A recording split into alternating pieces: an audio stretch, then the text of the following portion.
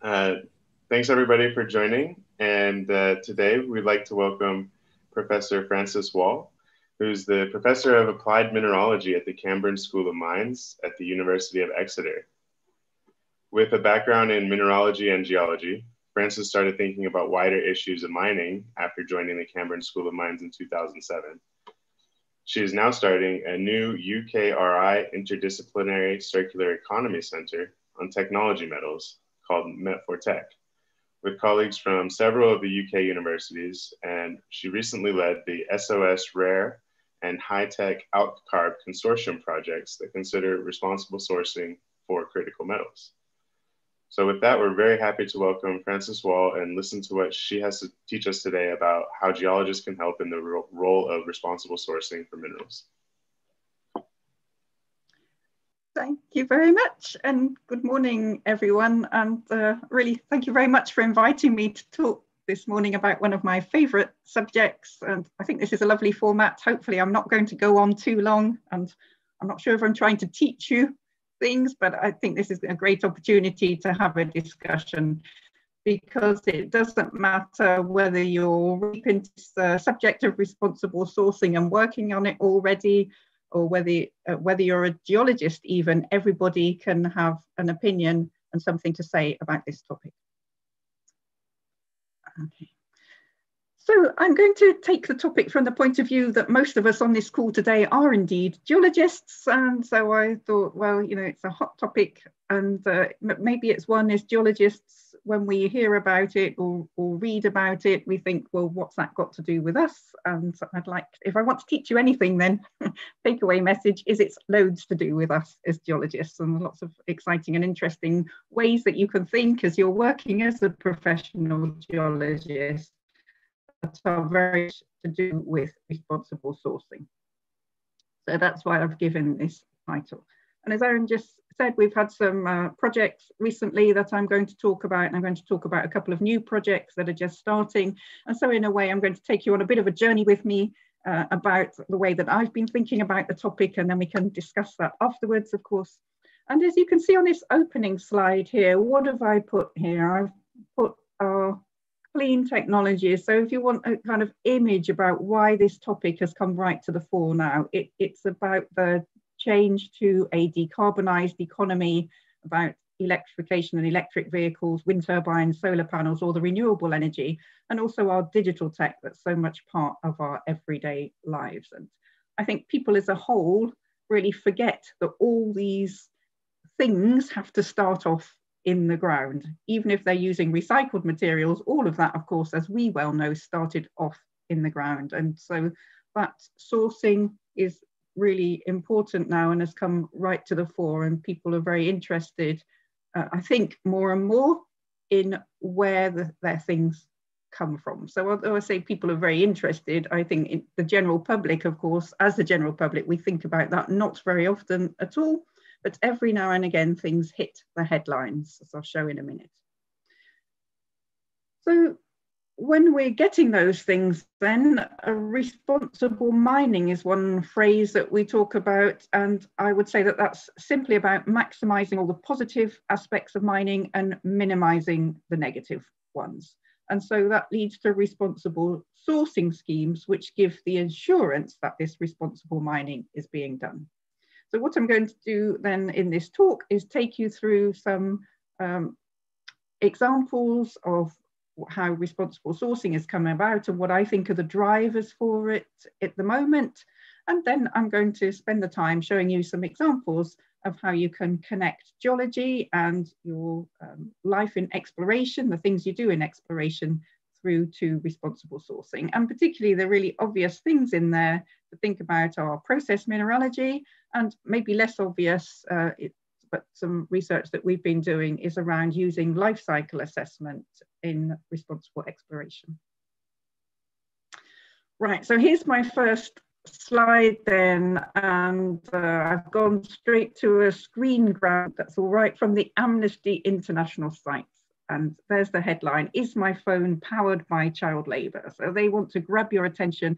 They uh, haven't gone to car batteries, they've gone to the phones to try and connect individually with people and uh, you might recognize there, that's a picture of child labor. It's a picture from an Amnesty reporter in the Democratic Republic of Congo, DRC. And what's the element that's being mined there? You probably already know, of course, because it's the headline, it's the poster child for responsible sourcing at the moment. That's a mine for cobalt in the DRC. These are headlines that started coming out several years ago from journalists and organizations like Amnesty International saying that uh, over half of our cobalt's coming out of the DRC and some of it's going into uh, phones, into batteries in phones, but half of it now is actually going into electric vehicles from last year onwards and more will do in the future. And do you really want your phone or your computer to have child slave labor in its supply chain? And that's, that's a big, you know, powerful, emotive headline because who would say anything other than no and be horrified by that? And of course, most cobalt in the world does not come from these kind of mines, but the point is, how do we know? And that's really where responsible sourcing comes in. And so as a result of this, actually, things moved quite quickly and there are organizations trying to uh, help sort out some of these small scale mines. Of course, all that happens is as the cobalt price goes up, there's like a cobalt rush, maybe like the old gold rushes. People start informal mines alongside the big copper cobalt mines that are running in DRC. And then you get some of these horrible conditions. So people are trying to go in and sort that out. And it's led to big initiatives from people like the um, Global Battery Alliance and the European Battery Alliance to try and make sure that, that they've got um, supply chains that do not have this kind of um, sourcing in them. Cobalt Institute has a special scheme to try and make sure that it can assure the supply chain. So does the London Metal Exchange. So this was really a big thing in changing the way people look at it.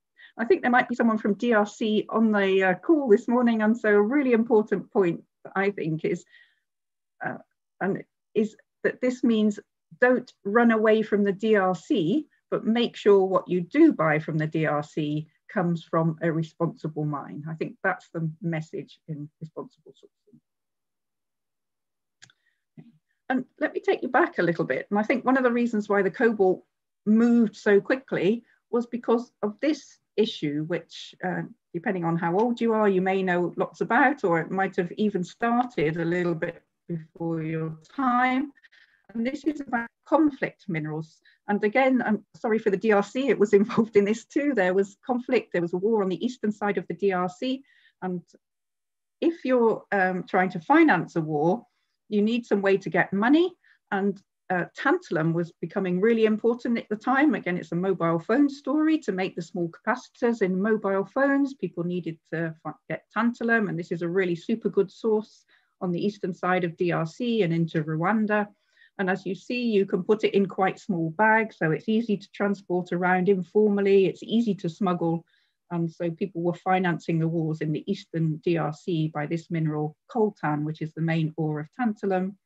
And alongside that is tin and tungsten, which has the nickname now 3T, and plus gold from the area 3TG.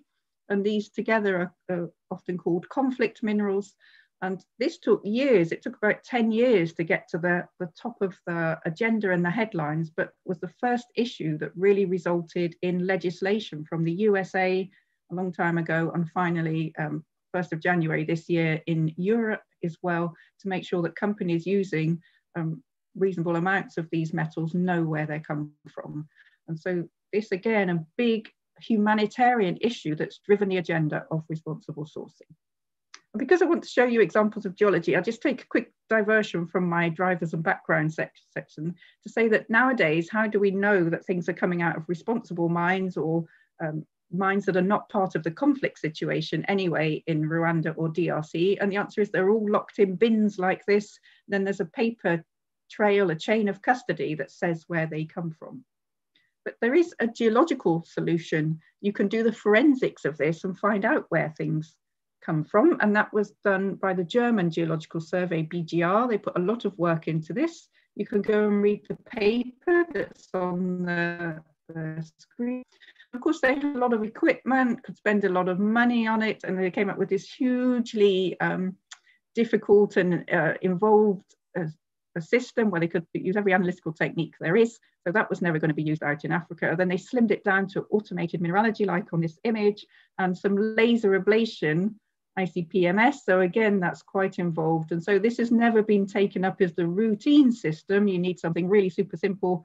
Maybe people are looking at LIBS, I know, you may know whether there's uh, any progress on this, but you need a real super simple um, physical analytical scheme if, you, if you're going to enact it. But this was a good attempt and was used some of the material. So role for geology straight away, I've managed to get in there. But I think this slide now yeah, uh, reminds me to illustrate why I think responsible sourcing is going to come even more to the top of the agenda for all of us. And that's because of the driven in large measure by the change to a decarbonized economy, so the need for cobalt, lithium, rare earths, and all the other specialist metals that go into those technologies. And also driven by the fact that so many countries are import reliant on these specialist metals from other places. Indeed, many countries in the West import reliant for practically all metals on other countries. And this is the map European Union plot of what they say are their critical raw materials what they need, what's economically important, but subject to potential supply disruption because it comes from just one country, maybe even just a few mines in one country. And if you've been looking at that slide then while I'm talking, you can see DRC there in Africa dominates cobalt supply, 59% into the European Union. And you see the tantalum there from the conflict minerals, coltan. But look at China on the right and that dominates the supply of so many of these critical raw materials for Europe. And as we come out of fossil fuels into a decarbonized economy, that's changing to a metals economy big time, and the whole political landscape of the world changes from the northern countries, which are supplying the fossil fuels, into just a few countries in the world, and particularly China, that are supplying the metals for a decarbonized economy and how clever of China to mine and build up their refineries and smelters and all of the supply chain. That's what they've been busy doing. It's a planned approach. And now the world needs to think about that. And we need a more diversified supply of raw materials. And I think it's fair to say the European Union is very much hanging its hat on responsible sourcing. It's saying get mines going, so geologists go out work, get some more mines going, but make sure that they really hit the top standards of responsible sourcing. Because if you want to compete with China, it, that is really hard because they've done so, been so clever and done so well. But if you use this responsible sourcing agenda, that might be a very good way to do it. Okay.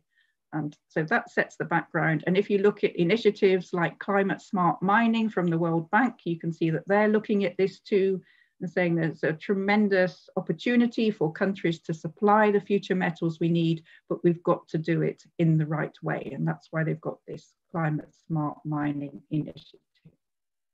So everything on then for us to go forward and produce responsibly mined materials, responsibly sourced materials, which should contribute to the sustainable development goals in the areas in which they're mined, and this is my favorite mapping of sustainable development goals for mining. And you'll see that mining isn't just against one or two of the SDGs, it really affects positively and negatively practically all of the sustainable development goals. So we've got to do stuff that really promotes the SDGs. And that's what responsible sourcing is all about. And here's my list of what a responsible mine then has to do.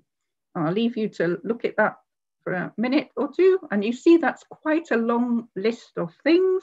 It must make money. If it goes bust, then everything goes wrong. It's got to abide by the laws, but do more than that and go to best practice ideally. Mustn't pollute, of course, mustn't waste lots of material. It's got to be energy efficient, as low carbon as possible. Big targets coming up from the mining companies on that for the future. It's got to look after the site and sort it out after it's left. It's got to look after the health and safety of the workforce, the well-being and all the local people, and keep, keep good communications with all the stakeholders. And you'll probably add some more. And if you want to go and see someone who's really thought it through uh, in great detail, look at the Initiative for Responsible Mining Assurance, relatively new scheme that's looked at all of this and will audit a mine on all of those responsible mining factors. And they've got 27 different chapters, so pages for you to read to find out what a responsible mine does. But what's that got to do with geologists then? Let's move on and, and have a look. And on this slide, I've put on the left some of the things that you'll be thinking about if you're going and working as an exploration geologist or doing some research on a deposit and thinking about whether it's going to be economic to mine. And on the right are some of the things pretty much off the list of what a responsible mine has to do. And you'll see that a lot of them, the ones highlighted in yellow, really connect very much to geology. And sometimes we use the term geometallurgy to think how you look forward and model, often statistically, what the response of an ore deposit will be as it goes into a mine. And that's very much a message of today's talk, besides the geological approach that we take, often looking at the story of how did an ore deposit form, you know, what's the mineral system, where will we find it? You can look forward and think, how will that deposit perform if it goes into a processing plant? What are all the issues? And very much whether it will be easy to process, you know, what's the resource efficiency going to be? How much energy will it use? How much water? Are there things that are going to be an environmental problem? What's the health and safety issues? That's absolutely part of the geology. And so when we do the initial geology, you're on a mine, working on mineral processing and then the extraction, all of that has to be done now with environmental and social factors in mind. And you can start that right from the beginning. So on this slide, I've got some of my favorite deposits. So I work a lot on rare earths. And here's different types of rare earth deposits. Good chance we need to go and find some new rare earth deposits. Neodymium is big news in electric vehicles and wind turbines, for example, in the permanent magnets. And there are lots of deposits that we could look at, and they all have different characteristics, of course, which is geologists we're thinking about all the time, and they affect their responsible sourcing characteristics too. So if you look at mineral sands on the left, they're a byproduct. You can take rare earths and monazite out of there. It's a byproduct are really nice and easy, relatively straightforward to process normally. Could do that tomorrow. But people don't by and large because that monazite is quite radioactive and people don't want that radioactivity. So that's a negative factor for responsible sourcing. Whereas carbonatites are going to have lower radioactivity. Um, they can be quite complex in mineralogy, but they normally have light rare earths. And if we're going out to diversify supply, often it's some of the heavier ones that we want to have in higher quantities too. And you might end up with a lot of cerium waste because no one wants to buy that anymore, etc. So complex mineralogy and some of the alkaline rocks and very low grades in some of these ion adsorption deposits. So you can be thinking before you even take a step into the field or step into an exploration project, what sort of characteristics these ore deposits will have. And this is what we were working on in the high-tech AlkCarb project. So we were looking at making new geological models for rare earths in alkaline rocks and carbonatites. And I can give a name check to Charlie Beard, who I think is on the call this morning, so we can ask him questions if you like. And he has finally submitted the paper, which turned into a bit of a magnum opus from his project. And he talked uh, at Ore Deposits Hub last year about the high-tech AlkCarb project and how we are making geological models. So I can't repeat his talk, but I just want to say that on that slide, you see that little bar chart down the bottom. We don't not going to go into detail today, but we picked out the process mineralogy characteristics so that we could think about how these things would process and try to think about the environmental and processing and uh, responsible sourcing characteristics of our deposits so that if you come new to this topic, you can quickly assimilate that while you're learning about the geology of the ore deposit. So get responsible sourcing right into your first geomodels, is the message. And so off you go then, you decide to go off and do exploration. And okay, we talk about responsible mining, but absolutely there's responsible exploration too.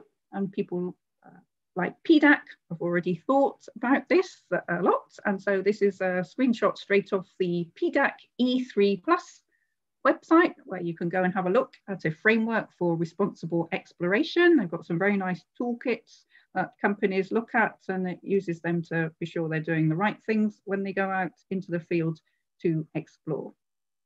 And we've got a new research project, so we're looking at that um, framework, of course, but what we're doing in the new Green Peg project, which is a Horizons 2020 um, big consortium project with a variety of partners, is Green Peg overall is developing a new, new toolkit for exploring pegmatites, so lithium and um, uh, NYT.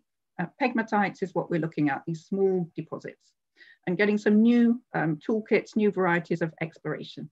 And as part of that, what we're doing at Camborne School of Mines is a team of us looking at the environmental characteristics of those exploration projects. So um, what, what are the different characters of the techniques? And we're trying to use a technique called life cycle assessment to actually look at exploring with a helicopter or a drone or on foot.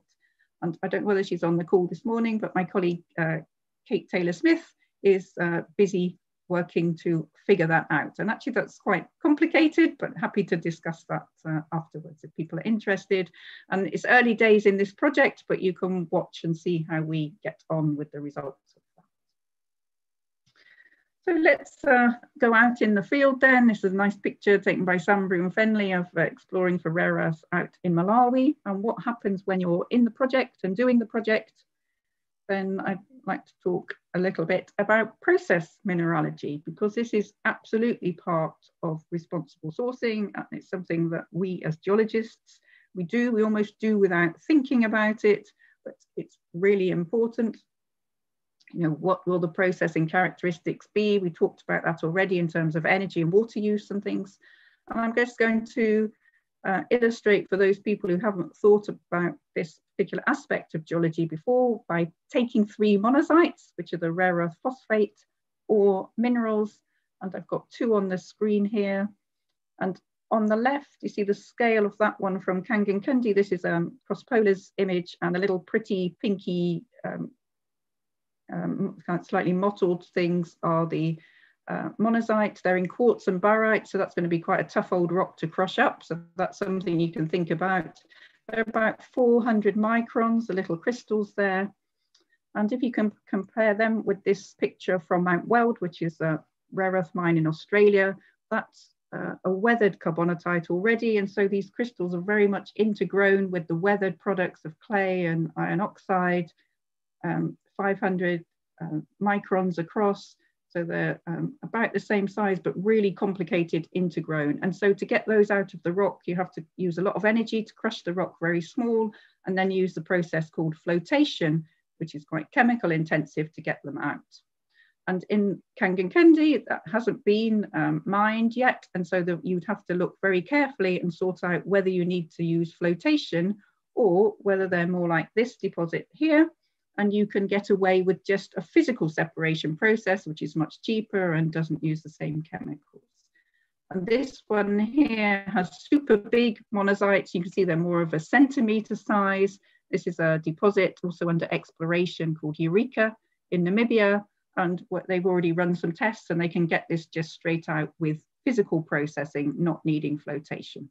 So if you look at this diagram here, sorry, it's a bit small on your screen, but for both deposits, you'd have to drill, blast, um, probably, uh, oh, and um, dig your deposit out. Then you'd have to do a bit of grinding and then um, on Mount Weld, you'd have to go by that flotation, chemical intensive process.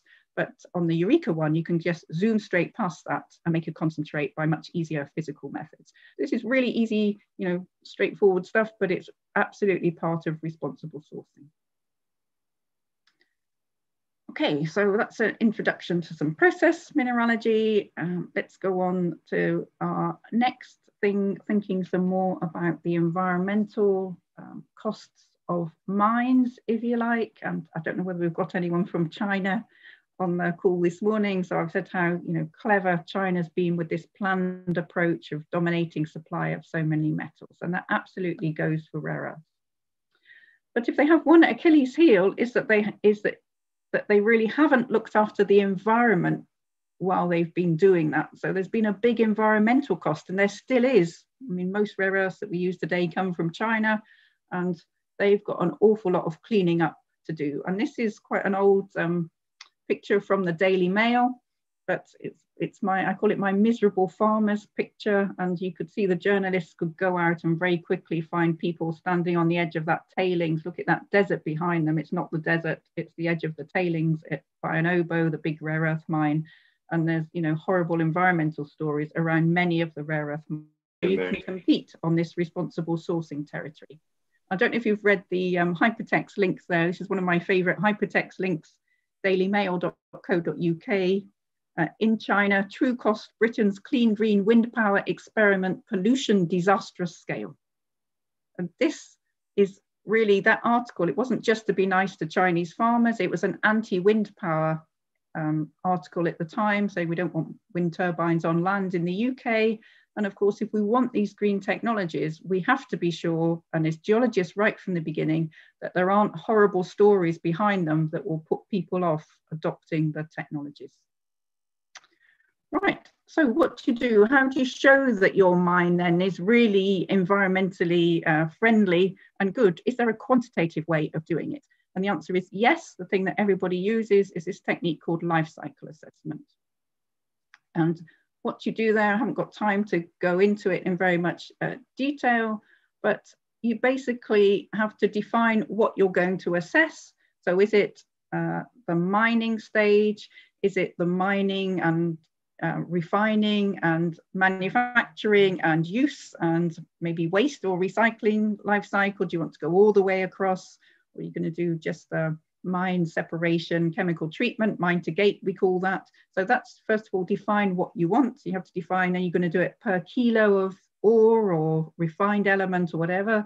And once you've sorted that out, then you work out all the inputs. You probably use a commercial software to do it.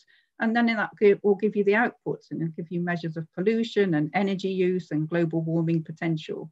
So you can see what you get out is, is really as good as what you get in. So it's really important that these are standardized and there's a big research area trying to work out how to do this best. There's a whole world, world of research in life cycle assessment.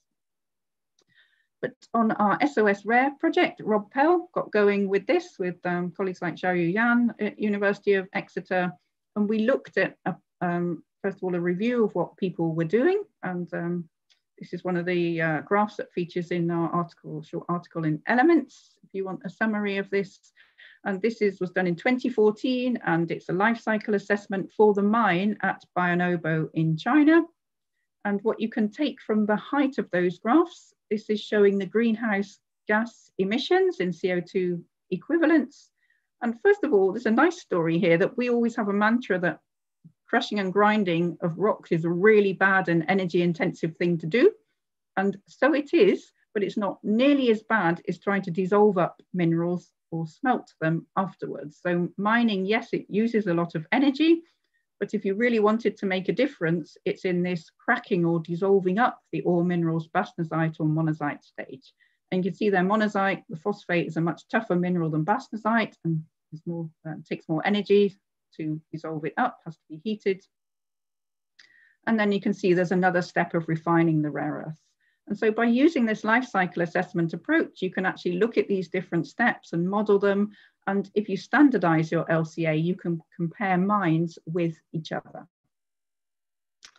But we don't just want to compare mines. We should just be doing it on mining because we're geologists and we're doing exploration and we want to bring this technique into the exploration stage. And that's really what Rob showed in a project that you can do right back at pre-feasibility stage, especially when you've got published information in NI 43101 reports, for example, you can start doing life cycle assessment and look forward at what a mine would be like. And once you can do that, of course, you can adjust what your mine would be like to minimize its environmental footprint. And this is a bit of a complicated graph, but this is the kind of thing that we could do just off of published NI 43101. This is for Bear Lodge in the USA, which is a proposed rare earth mining operation. And it had a um, 45 year mine life and Rob could take those figures and look at all the stages of mining and processing and put those together with the grade of the ore. So the black line on there, the lower that black line, the higher the grade of ore and therefore the lower the environmental footprint of producing from that deposit. but you can model that. And this is what, what Rob does now in his new company is you can code this in and you can look forward. And while you're making your block models to see what the grade is of the ore and um, the tonnage and things and plan your mine, you can also plan the mine's environmental footprint too, doing this LCA approach. So I think this is a really powerful thing to bring into the exploration stage, and we'll see more of this coming. So then coming into the last part of the talk, let's look at the actors, if you like, about what's who's uh, interfacing with who and what we're talking about. And a lot of what we're talking about really, if you think look at that mines ellipse on there, in responsible mining and responsible sourcing, really started off uh, from about 2002, I would say, onwards with the big mining companies looking at their image generally and what the people around the mines think of, what do their stakeholders think of them. So that's very much the public, obviously all the government and legislation, and the banks and shareholders, you'll think about tailings dams initiatives and things, are really important controllers now on responsible sourcing. And then, of course, their customers are there looking and they're saying this is an opportunity, I think, for mines to show that they're responsible suppliers. Maybe they can't charge any more money, we can discuss this, but maybe they could be the supplier of choice. And how does this sit, though, with us as consumers so we can't see the mines that things are coming from. It's much too complicated to see through the supply chain. But certainly consumer activists, who can we see? We can see Apple, we can see VW cars, we can, we can see these, these high profile manufacturers. And then they turn around as a result of that customer feedback, if you like, or pressure, and they have the power to reach right back through their supply chains. Think Tesla, for example, have just been and bought a mine to secure a good supply of some of their metals. And this is really changing the landscape. And it'll be interesting over the next few years how much is coming down from manufacturers wanting life cycle assessment from the mines, for example, and how much the mining schemes like IRMA can penetrate up through the supply chain and keep the initiative on responsible sourcing. So we've got two views then of, I would say, responsible mining and the responsible uh, sourcing agenda. And one is what happens around the mine and all the stakeholders there. And mines need to be doing the best thing, don't they? Promoting sustainable development. And I've heard this called a, a service. Your mine has to provide a service while it's running and generate sustainable development, even, you know, to live after the end of the mine. And the second one then is this one going along the supply chain. And we can begin to think about that in an even more holistic way what happens after things have left our mine and gone off into the supply chain and start thinking in a more kind of circular economy approach because our metals that we produce are really super sustainable materials, aren't they? They can be used again and again if they're looked after properly. So I think mining's always a bit on the back foot because it's called an extractive industry and you know once it's gone it's gone and it doesn't regenerate and people think that's inherently bad but don't be put off you know fight back guys our metals that we produce are really super sustainable. Once we've produced them, they're not going anywhere unless we send them to waste and put them in landfill. So um, make sure that we want to make sure that they'll really be looked after well. So that's the material stewardship sometimes that's called. So just some fun things then. Um, we, as part of SOS Rare, um, Ed Loy and Rob Pell and um, me, we made these um, this card game and you can find it on sosrare.org and it's like a top trumps style game and you can compare different sorts of rare earth deposit. You can pretend to be the investor or the customer or whatever and see what are the favorite responsible sourcing factors that you think are most important. And just coming to that value chains, if you're interested in finding out some more about that i um, had the pleasure to do a lecture in the unesco series with john thompson recently and you can find that online and think where we were talking more about mining in the future and the circular economy ideas. But I think the message for today is it's really important that we think about joining up these value chains. This is one reason why doing the LCAs of deposits and mines is so important. And also think of us as raw materials suppliers. So it's not just the first time that things come out of the ground. As we get better at recycling things, which we'll have to do, then you can be thinking in geological ways about secondary raw materials, about urban mining as well. And I bet some of you will, will do very well in careers doing that too. So here we are then, this is what I think some roles are for geologists in responsible sourcing of metals. We've got to go out there and establish supply chains for these metals we need for decarbonisation. They've got to be diversified and secure, but we can really, while we're doing that, help achieve responsible mining and sourcing, establishing the routes of production that are least expensive environmentally and best socially, as well as being financially viable.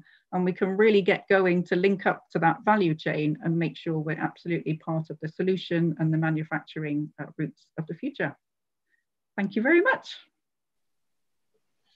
Thank you so much, Frances. That was a really great talk and uh, a lot of uh, a lot of pertinent things for the geologists here and the, the geoscience focused group uh, uh, in this audience. I think this uh, definitely opens a lot of questions, but also provides a lot of avenues for, for us all to start working on um, basically working in, in this sort of a mindset. So thanks everybody for your participation and we'll go ahead and get started with the discussion as the questions come in. And Frances, I actually have a question uh, that concerns uh, sort of looking at mine systems on, on the life of mine cycle. And as you know, like in resource geology, it's economics that drives everything. Uh, you know, a rock you have one day can be ore today, but not tomorrow, depending on metal prices. And when you showed the, the uh, grade and the data graph analysis for the Bear Lodge deposit in Canada, um, I see an, a big difference in the, a big decrease in grade over the life of mine. And this must happen in, in every single mine. So how can we account for this big gap in, in profit from a mine as the mine uh, continues towards the end of its end of its life cycle? Well, I guess uh, as, yeah, eventually, of course, the mine will close, won't it? And that, that's that's another story. At any time, if the price dips, it uh, could could close suddenly. But I think what um, I, I, think what happens when we're doing this LCA analysis and you produce those graphs is you can produce the graph over time, and you can also send that into the block model of the mine. And so it could be that in the future, what makes a mine economic isn't just how much it thinks it'll be able to sell its ore for, its copper or whatever it is. It, it will also have carbon targets and things to meet. And so the trick is to be able to model those in from the beginning as well. So you might actually mine in a different way in the future to keep your, say, your carbon footprint below a certain level and so that you'll be able to keep going. And I imagine that people will make these models at stage one. And then as they go through time, they might have to go back and refine you know, their mine plans to keep within the environmental and the economic envelope that will allow them to keep the mine going. So I think they're going to need to be flexible with these plans, which is why they'll, they'll sit in the geostatistics and the, and the models. And then you can juggle all of these factors as we get better with handling data, I think they'll be able to juggle all of those factors on a mine. So we'll see more complicated models without just the ore and grade in them, but you can put all these other factors in as well. And then hopefully they'll be able to balance that to keep the mine going as long as possible. But of course, there are many mines where they start off with the processing that works on day one, and then, then they will have to run around and try and change it as the characteristics change through time. And that's why mines need geologists, isn't it? And they need to keep up with that planning so that they can really um, make sure that they can stay economic and environmentally friendly, I think will be what they have to do in the future. Yeah, thanks. I like the uh, idea of uh, having to take into account the entire life cycle of a mine rather than just the first yeah. reputable parts of it. Halleluya. Do you have any any questions? Okay, there is a question in the chat, uh, and it's I will read it to Frances. But first, before I read the question, Frances, thanks for that great talk. And I have a question of my own, but I'll ask it after uh, reading this question from the, the audience. So the question is uh, how is how viable is LCA for metals from initial to exploration to the use and recycling of metal, and how can we make public aware of this? How viable is LCA? Yeah, it's absolutely viable. It, it, it you know, it is coming in as a technique of choice. If you go into manufacturing, you'll find it's used already a lot. We've maybe been slower to adopt it in mining, and of course, adopting it in exploration is even newer. But uh, you know, there are lots of researchers and consultancy companies and manufacturing and companies that use it.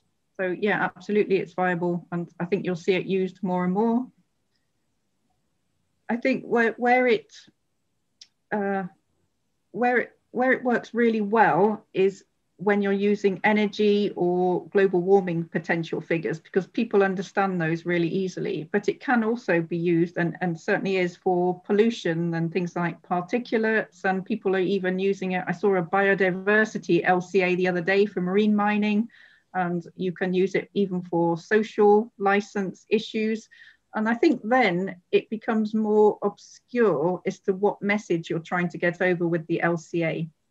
So it works super well, I think, for the energy side of it. And when you do an LCA, that you there are lots of these figures come out of it. And what I find is I always end up just presenting those global warming potential graphs, and that's only a very small part of the real LCA story. But you're talking mainly to other LCA experts so I think of responsible sourcing, really useful for talking to the experts and the manufacturing supply chain. That's going to be really important. But if you look at it, what really grabs the headlines, it's those big humanitarian headlines, isn't it? Child labor in cobalt or tantalum financing wars. And I don't think that will change in the responsible sourcing agenda. I don't think people will be standing with placards because the, I don't know, the particulates level from well maybe particulates are an issue but the global warming potential is a you know a little bit more here than it is somewhere else or something. So there's that manufacturing supply chain is where LCA comes into its own and I think there'll always be these headline environmental humanitarian issues that have to be uh, taken account of qualitatively in the responsible sourcing agenda. So viable but not the whole story Um, thanks, Frances. Um, Aaron, do you want to take the next question or should I ask the question from Ruth? Sure, I can, I can take it. Um, Ruth Miller asks if anyone has ever done an objective ranking of different mines or mining, mining companies globally with respect to their responsible operations so that companies wishing to uh, responsibly source their critical metals uh, can do so. Uh, for example, um, yeah, from yeah, from Mona's eyes. Yeah, basically, is there a, a resource for comparing um, responsibility of, of different mining organizations? Yeah, I think if you go and Google Responsible Mining Index, you'll find it's an organization that does exactly that and produce ranks of the companies. So of course that's the, mostly the bigger companies that go onto there. So yes is the answer to your question. As I say, I'll say again, responsible mining index, just put that into a search engine, see what you come up with. And then um, for rare earths, particularly there's a rare earths industry association, uh, abbreviated REIA, and they're taking a life cycle assessment approach um, through their members and trying to develop a standardized LCA so that you can compare rare earth deposits in that way uh, there's a thing, and then and then I think in other areas, it's not necessarily the interest of the companies to be really competitive. So you know, wouldn't be of interest to REIA to say go and buy from this member and not from that member. So they want to show that they're all of a responsible standard. And if you look at things like the copper mark, that's where all the uh, copper producers have got together and, and have put something in there and said these this is the um, the uh, what do you say, the, the, the mark or the, this shows it's the assurance that we, we, are responsible suppliers and you can look at what standards we're applying here and then this is what we're doing. And so there are different schemes coming in, some for particular metals, Aluminium Stewardship Initiative, that's another good one, a very well established one to go and look at. And then there are others coming in for particular mines. And so things like the Initiative for Responsible Mining Assurance, you could have a look at that one. I showed that, that's the one with 27 different chapters. and it, it doesn't aim to put mines in competition or companies in competition with each other, but it aims to make the standards that companies can say, you know, standards of really high um, practice that they, they can say that they meet. Hope that answers the question. Yeah, thanks. That's a lot of great resources there. Um, I'll finding them and posting them in the chat. oh, I, I see. Okay, I'm not looking. That's uh, no, that's really really important. Halleluya. We take the next one. Um, there's a question from Michael, um, which you probably answered uh, partially with the answer you, that you just gave, but he's asking how best can we deal with the various national interests or policies when assessing responsible mining?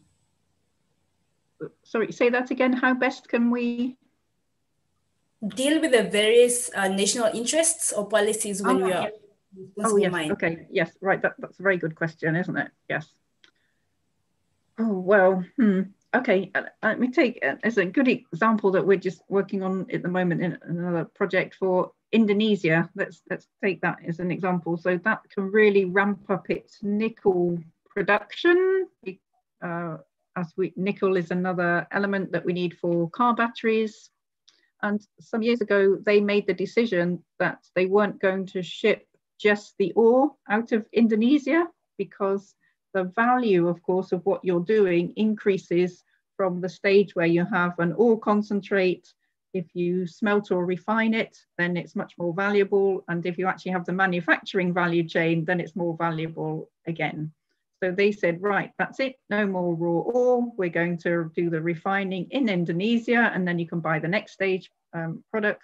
And that seems to be working. That's what people are doing.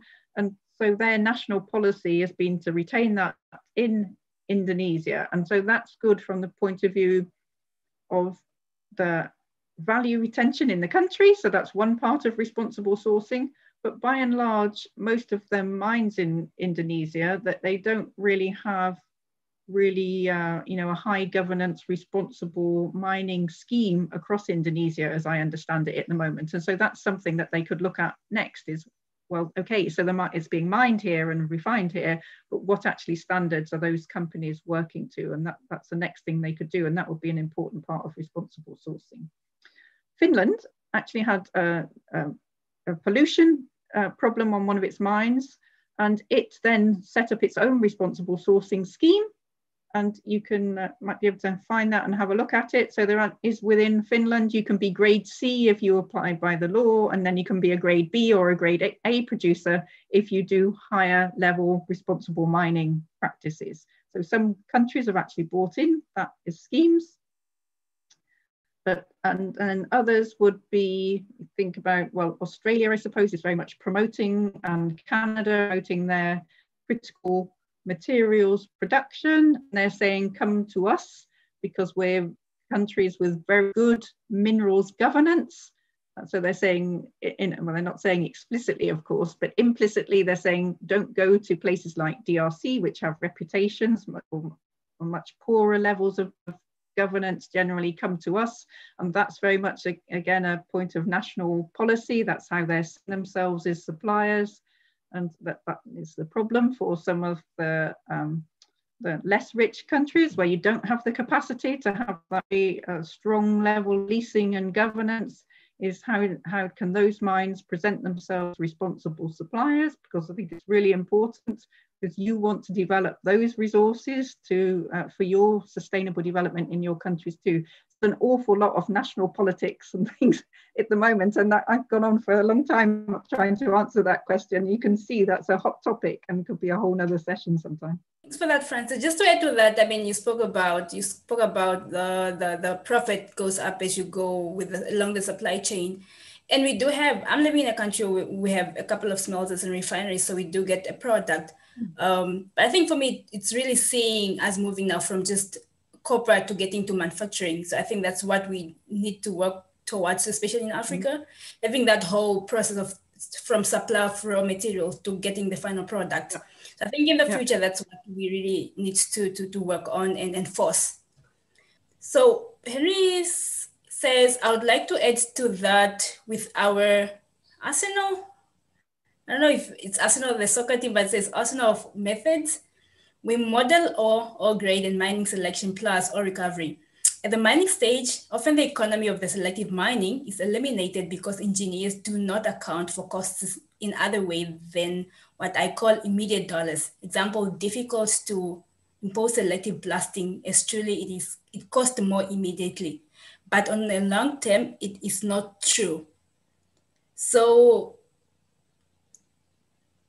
it's more of a comment than a question, I guess. And I think it was going to make more sense if Henry was around to un- to sort of comment uh, or. Uh, yes, I, I think I get the. Uh, I think I think I've understood that. So it, it's saying that there'll be this short in the short term. You you're running your mine to uh, to produce what's economic right now. And so I guess in the longer term, then that might mean that overall over the life of the mine, you're, you're not producing as much ore as you might do. So overall, it's not as resource efficient and, and therefore not as environmentally friendly as it might be. So that, that's a very good uh, question. I'm not sure quite what the answer to that is, except that I suppose the more that you look forward and do things like um, modeling the overall production from the beginning, then maybe that means that in that more holistic model, you might choose to actually produce some less economically viable stuff it, it sometimes and mix it in in a different way because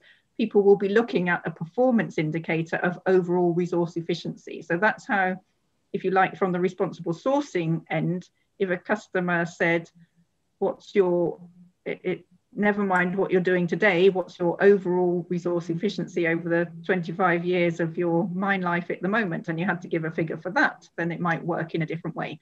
But I have to say that's quite a long shot because it relies on somebody, the investor or customer or somebody wanting that level of uh, information and planning and I'm not sure that that's in any of the responsible sourcing schemes at the moment, but it's a very interesting, detailed mining engineering point. So really good comment. I'm thinking about that. Yeah, thanks, Frances. Um, I just want to take this time moment to say that Halleluya and I have posted the link to the certificate of attendance. So if you need proof that you've attended an hour um, Ore Deposits Hub seminar for professional development or for your professional uh, organization, you can get that at the link in the chat. We also have a question from, we have about 15 people on YouTube and the questions that are coming, but we have a question from Richard Roth, um, who's on the more technical side of, of uh, mm, process mineralogy. And so he asks, what solutions are there for storage of potentially radioactive waste or tailings products from rare earth processing? And along these lines, what should we do to uh, improve uh, the types and range of minerals and mineralogies that we can actually recover or metals from? Oh, right. Okay. Uh, that's a that's an easy one to answer in in in short. It's a complicated one to answer in long, and I'm not sure I'm even really a big expert. But how? Right. So that's on the rare earth deposits. I mentioned that mineral sands, for example, would be a really good source, but people don't like them because the monazite there it has two to ten weight percent um, thorium in it, so it's radioactive. So what are you going to do with that? And many rare earth deposits will have some small amounts of thorium and uranium in. And the answer is that there are people in the world who are really used to storing radioactive wastes. Of course, all the, the nuclear um, business and uranium mining, they're, they're used to, to doing that. And so there's expertise there to use. But the real answer, of course, is to not make it waste. So here's a circular economy answer is to find something to do with it. And we think of uranium as the fuel for nuclear reactors but you can use thorium as a fuel for nuclear reactors. And in India, they keep their thorium because they're interested potentially in doing that. So the real answer is to use it. Thorium reactors are inherently more safe than uranium reactors. I see people talking about small scale nuclear reactors and things for the future. So maybe the answer, please, could you just go and research on thorium as the fuel for that? And then your waste becomes something really useful and you take away the problem. So that's the first one. And second one was, how do we get better at processing different sorts of minerals? Hooray, research people, research for geologists, mineralogists and mineral processors all working together. So collaborative, interdisciplinary research to have, we, we know about funny minerals in strange rocks if you're um, geologists, you know, working on these things. And we need to get together with mineral processor colleagues to have a look at how we process them because you know almost all minerals are processable if we can find the right techniques to do it, but obviously it needs the investment in the research and innovation to be able to do that. And I just wanted to give a plug, sorry, shameless plug. If you're interested in uh, some of these issues around, we've got a free online technology metals for a green future MOOC if you just Google that, it should come up or go and have a look at our University of Exeter pages. And uh, that talks about some of these kind of issues. So it's a you know, nice lively way with some little films and pictures of refining, some nice films of refining and so on to look at the value chain things. And it's completely free to sign up and it's open all the time now. Sorry, next question. No, thanks, Frances. I, uh, I can try to find this link. Oh, yeah, sorry, now you've got to go and find that one too. That's okay. I think the um, the resources that you've you've mentioned here and talked about today can be important for a lot of us. Um, so the next question goes back to sort of what we were talking about and what Henri was talking about in terms of profit and economics. And as we are running into the to the end of of the discussion time, uh, I'd like to invite any last questions uh, at this moment, but uh, we'll we'll have time for a few more. And this question is by John Taylor.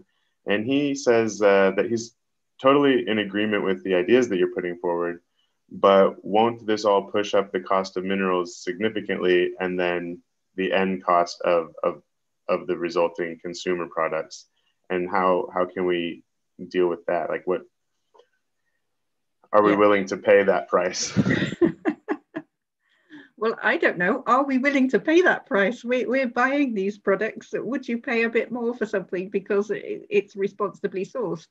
And I think so far the answer from most folks would be probably no. They buy the phone because it's got a great camera or whatever it is that they're they're buying, you know. Um, but actually, having said that, I think that in electric vehicles, then it is a big deal because the, the early adopters of electric cars are more likely to be the customers who might ask those kind of questions or we don't think to ask those questions when we go in the car showroom, but they might have spotted headline about cobalt and be horrified by what sits behind their car. So it's a slightly different issue that they'll they'll do that. And no, they won't want to pay any more money. And that's the problem, isn't it? That people want responsibly sourced things, but because um, it's not obvious in what you're buying is to what all the components are, then it's very difficult to actually charge a premium. While I'm saying that, I'm thinking that things like responsibly sourced coffee, so fair trade coffee, people will pay a little bit of a premium, or some people will pay a bit of a premium for that. But I think generally the challenge in mining is we've been getting very good at economies of scale and producing things really cheap, haven't we? I mean, uh, and manufacturers are used to paying those prices and they won't want to pay very much more for anything that's responsibly sourced. But these, this is why I think the issue is really important at the moment because it's coming much faster now than I've seen in maybe the 10 years that I've been watching the agenda and companies are actually turning around and saying, we're responsible suppliers, come and buy from us. And it's going to be really important in things like lithium and cobalt, where production is ramping up and new mines are coming online. And so it will be, if not some kind of USP or a selling point for those mines, they will have to show that they're responsible sourcing suppliers. Whether they can charge any more, don't really know. Jury's out will be difficult. They will have to compete on price. So it's an extra thing for people to do. But I, I think that now the manufacturers are looking for responsibly sourced uh, metals, and so they're more likely to buy it or make you the supplier of choice, even if you can't charge very much more money for it. And just the last part to that answer is to say, imagine that you did have to charge more, say for your rare earths, um, to make it a responsible supply, you know, operating to best practice. Well, actually, the cost of rare earths in a mobile phone or, or in a car is only a very, very small part of what you're paying. So if the manufacturers paid a bit more, it wouldn't actually make that diff much difference to the price. So in certain key things that are in the headlines, it's even possible that the miners will be able to charge slightly higher prices because it makes a, a difference to what the um, the seller, the manufacturer of the car can say at the end. So headlines like cobalt, rare earth lithium, they might be the ones where you're most likely, I guess, to be able to charge a premium. That's a really great question, a really big challenge, I think, for the industry. Absolutely. We actually have a comment from Leslie Logan. Uh, she would like to, to join the discussion on this. Leslie, can, you can unmute yourself if you like. Hi, thanks. Um, yeah, thanks, Frances, for a really nice presentation.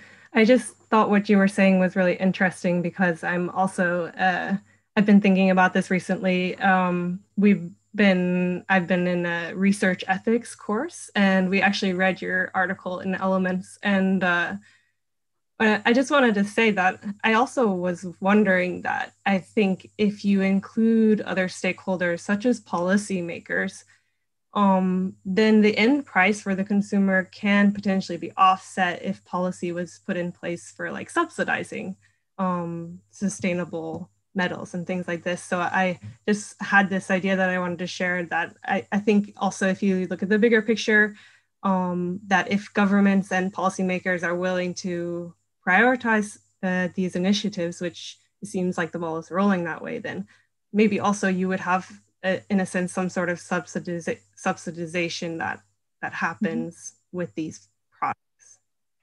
Yes. Yeah good comment. So it's a very interesting topic to think about isn't it? So you go what are you going to do? Are you going to leave it to the market? Are you going to subsidize or are you going to regulate? So that's what happened in conflict minerals is it was decided you know to pass laws regulations that people have to check where their materials coming from. And it will be interesting to see how that goes forward and whether there's regulations that you need to check other environmental factors on the sourcing of materials as well, or whether it's left more open to the market, or whether there's certain, to subsidize is quite hard because uh, in Europe it's called state aid and uh, the governments can't um, just finance companies directly. So that's a bit of a problem because of the competition rules. But certainly the regulatory environment, I would say, is really important in encouraging responsible sourcing. And I think that you will see things come in, and you can already see really fierce regulations coming in new from the European Union around the recovery of material from batteries, for example, and not letting these specialist metals go to waste after we've used them in a few years time we'll have to be much much better at catching them at end of life and making sure they're, they're not going into landfill or anything at that stage. And how much that comes in in the future to apply to the beginning of the supply chain then uh, we'll see. So i think all people who are interested in the topic and can come up with good ideas the better. Yeah very interesting. Thank you yeah, thanks, Leslie, and thanks, uh, thanks, Frances, for the answer. Uh, I guess while we're on this topic, maybe it makes sense to invite uh, Holger Pollock to, to, to ask his question quickly, because this is, again, a, a, end, end product question. Uh, hi. Yeah, thanks. I was just thinking that I should uh, maybe jump into this topic and uh, show my Fairphone and ask Frances what, what she thinks about the concept of uh, having um, components, at least of this uh, product, um, sourced by from responsible um, sourcing in, in, terms of tungsten and uh, cobalt and tantalum. I think there are just a few of them, but um, yeah, I personally think it's a great step in the right direction. But uh, maybe you can add some perspective. Uh, yes, actually, I took Fairphone off my slide today, so sorry about that. If I had known, I would have left it on. So Fairphone, then for people who haven't heard of it, is a company in Holland, and this is from from the um, tantalum, from the conflict minerals agenda. They they got going to say you can buy a phone which won't have conflict minerals in the capacitor in your phone, and then they got really interested in the whole idea of responsible sourcing and where their chips are made in Korea and um, and they're gradually working through where their other raw, raw materials are coming from. But since you have about two thirds of the periodic table in a smartphone, it's a big deal. So it's taking them a while, but lots of people go to research with them. And the, the other point they make is that we have our phones and then then five minutes later the company's saying why don't you have an upgrade and have the latest even whizzier phone than the whizzy one you've got already so we're very bad at hanging on to them for very long. And every year or couple of years, we turn them over and buy a new one. So they said, have a phone which is modular and then you can upgrade it. You can buy a better camera when you need it. The back comes off, you know, you, you can take components out and put them in. So it's really different, very different idea to Apple who say, just get our latest phone, send it back to us. We've got a robot we'll recycle. So really interesting business model. I had a Fairphone too. I finally got fed up with it because I couldn't do the upgrades very well. And I went and bought a second hand phone. So I, I kept me in the circular economy, but had to give up on Fairphone. So maybe I'll get a Fairphone 4 or something when they get onto that one and, and get going. So really interesting concept. Uh, and that's, but it's a real serious concept. I think this business, um, first of all, the responsible sourcing, you can see the rest of the world is beginning to catch up with them. So well done on that for highlighting it you know, everybody in this area knows Fairphone. And then the second thing that's really important to think about everybody is how long do you keep your phone for?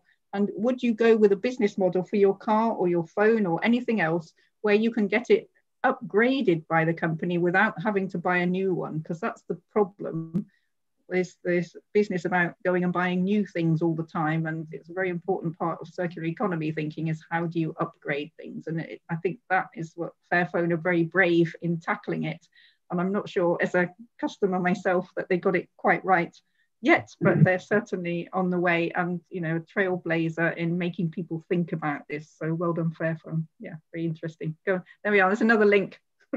Aaron can go and try and find you. Just search on Fairphone. It will pop up really quickly. People can go and have a look.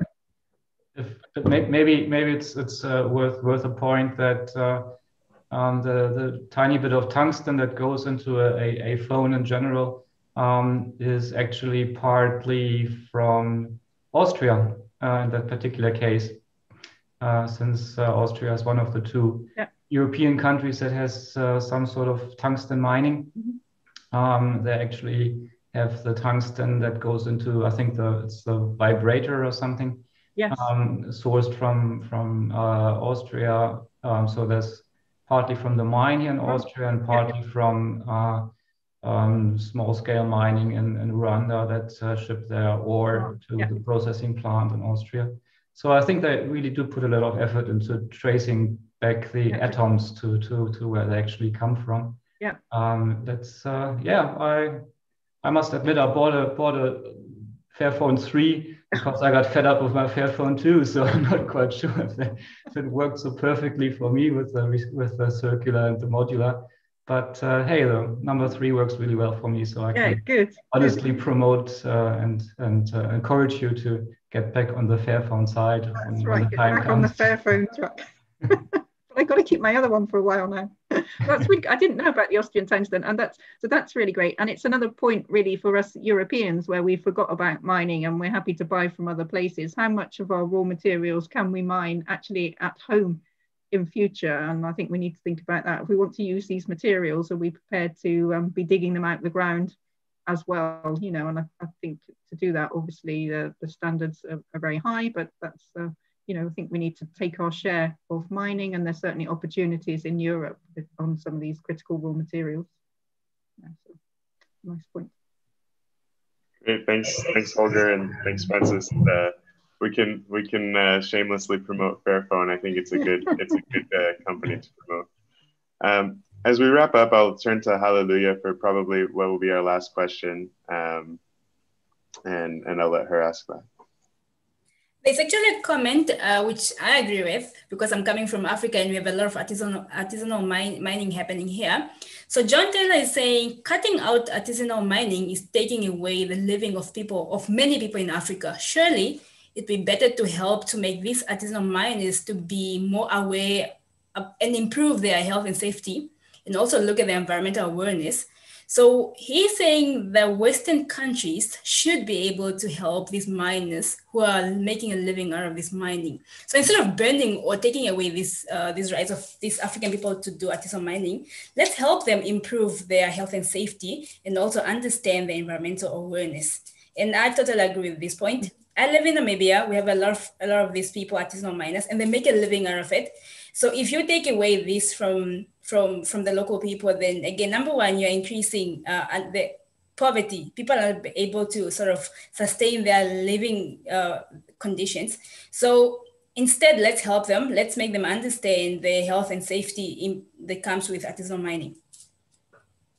Yeah, of course, I have to agree 100% with that. And I think that's really important part about responsible sourcing. When people first see the headlines, the, the first thing is, oh, let's not buy from Rwanda in case anything's coming from DRC. Let's not buy from DRC. And that's not really the answer at all, is it? Because there are people there who are relying on producing minerals for their livelihood, as you just said. So the answer is let's get responsible supply chains into these countries that's what people like Fairphone have been doing. It's what people like Google are doing. It's what people like Apple are doing. They're reaching right back and they're not just not going to the big mines, they're going in to help some of the artisanal miners to establish these responsible um, supply chains. And I think that's important. Most countries have policies that they, they want to try and um, regularize in some way their small scale mining sectors if they can, because they're really important parts of their sustainable development plans. So yes, most miners in the world are small scale miners. It's been estimated that up to 100 million people rely, you know, families and people who rely on small scale mining for their livelihood. But even though most of our metals come out of industrial and large scale mines, most of the miners in the world are people on the small scale mines. So they've got to be a really important part of the responsible sourcing agenda. So absolutely, I agree. Good last question, if that is the last question, because it's one on which we can absolutely all agree today. Thanks, Frances. And the question that I had, you actually already answered. Someone asked the same question I wanted to ask, so thanks for that. Just before I wrap up, do we have any more questions? Please do let us know if you have a question and um, we can unmute you. You can unmute yourself so you can ask the final question, Aaron. Do we have any question in the chat? No. I think we're done with the chat, and then YouTube um, is. We asked already the questions from from the YouTube audience. So uh, with that, I'm just like to say thanks again to to everybody who joined us today, and, and a really big thank you to to Frances Wall for for this leading this discussion uh, that I find quite important. Uh, any last words that you would like to share with us, uh, Frances, about the circular economy life no. cycle assessment of mines? Well, no, only say thank you very much for inviting me. I obviously enjoy giving the talk and a really great discussion and great points afterwards. So yeah, just encourage everybody to go out there and take part in the agenda because I think it's going to be a really important one. And it's obviously one in which lots of us can take part in various ways, whether it's through our geology, professional work and research, or as we've seen with the Fairphone example, whether it's us as consumers uh, taking part in responsible sourcing as well. So thanks very much. Really great session today. Enjoyed it. Thanks everyone.